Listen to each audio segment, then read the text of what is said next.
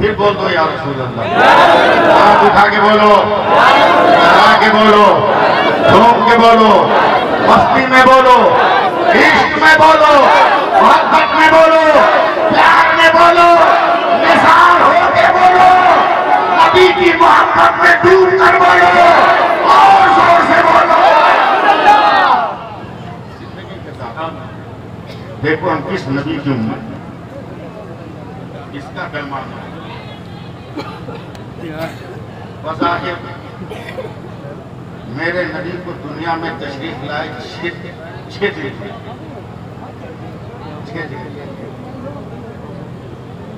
हज़रत हलीमा के शवर ने कहा बेगम अब्दुल मुत्तलिब का घर तो आज तक देखा नहीं।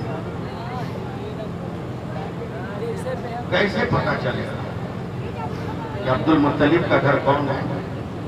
हज़रत हलीमा कहती है, मेरे सरताज, मैंने ख्वाब देखा था कि जिस घर का बच्चा मुझे मिलेगा, उस घर से रोशनी का एक मीनार आसमान की तरफ़ बुलंद होता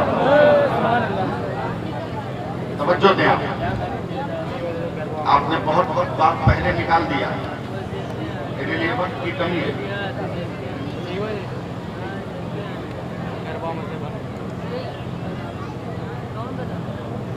सब तलाश करने वाले मकान की तरफ़